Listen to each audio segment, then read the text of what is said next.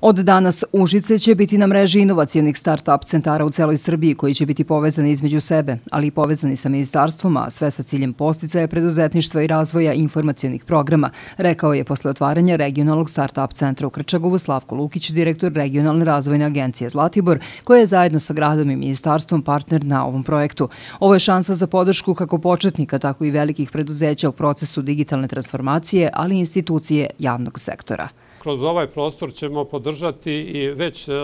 registrovana mala i srednja preduzeća koja imaju ideje, a nemaju način da ih e, plasiraju, nemaju način da dođu do finansijskih sredstava i mi ćemo im pružati podršku za konkurisanje za sve fondove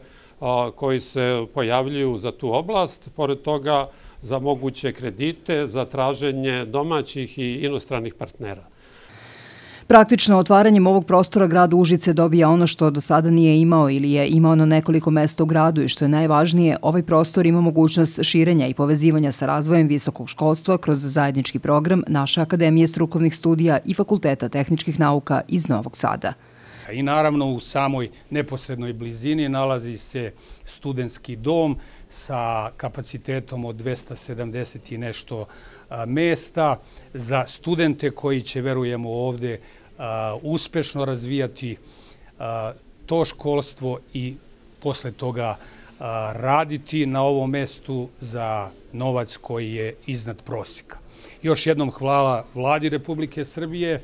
predsjednici vlade Ani Brnabić, hvala našem predsjedniku Vučiću na svemu što čini za razvoj uh, Užica i hvala ministru Nenadu Popoviću što je verovao u Užice kao uh, jedan ozbiljan potencijalni izvor inovativnih ljudi. Užice je istorijski gigant Srbije. Valjonica Bakra, Impola, Seval, prvi partizan zaslužuju ogromnu podršku inženjerske struke i taj potencijal i znanje koje ovde postoji imaće priliku da se ovde u inovacijonom start-up centru promoviše, kaže ministar Nenad Popović. Želim da,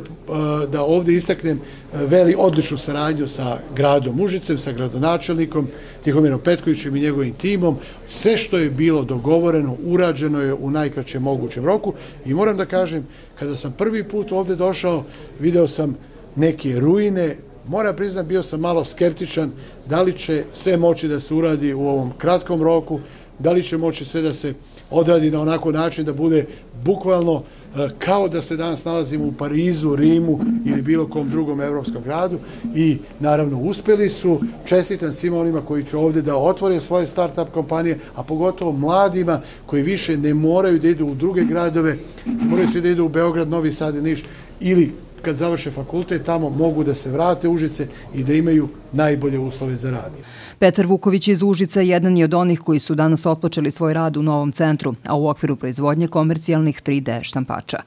Ono što smo ovdje dobili kao podršku, što nam je najbitnije, jeste sam prostor, dalje podrška što se tiče tržišnih uslova, shvatanja tržišnih uslova, znači što se tiče administrativnih poslova, i saradnje sa institucijama koji će dalje podržati sve ono što je nama bitno u pojedinim procesima, što, je na, što će dovesti do te realizacije koju želimo. Trenutno prostor je opremljen sa 25 računara uz mogućnost proširenja do 50 mesta za ljude koji posjeduju sobstvenu opremu. Na prvi konkurs javilo se 16 korisnika, a očekuje se značajno veći broj onih koji će koristiti ovaj zajednički prostor i to besplatno u vreme trajanja projekta, odnosno godinu dana, a kasnije cena tog zakupa bit će pristupačna. Za rekonstrukciju i funkcionisanje ovog prostora u prvi godinu dana od Ministarstva za inovacije i tehnološki razvoj stiglo je 46 miliona dinara, a grad Užice opredelio je 10 miliona dinara za opremanje prostora i parterno uređenje.